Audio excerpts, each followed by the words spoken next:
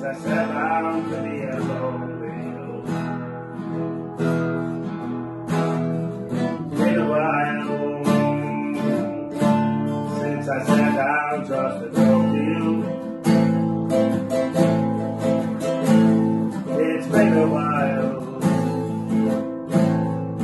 since I sang a song